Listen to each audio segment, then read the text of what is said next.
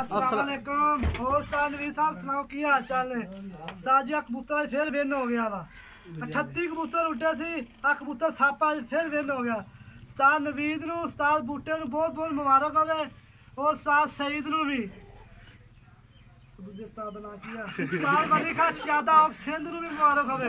ਉਸਤਾਦ ਨਵੀਦ ਦਾ ਉਸਤਾਦ ਖਾਂ ਵਲੀ ਖਾਨ ਸ਼ਾਦਾਬ ਸਿੰਧ ਨੂੰ ਮੁਬਾਰਕ ਹੋਵੇ। ਸੱਪ ਕਬੂਤਰ 38 ਕਬੂਤਰਾਂ ਦਾ ਵਿਨ ਹੋ ਗਿਆ ਵਾ।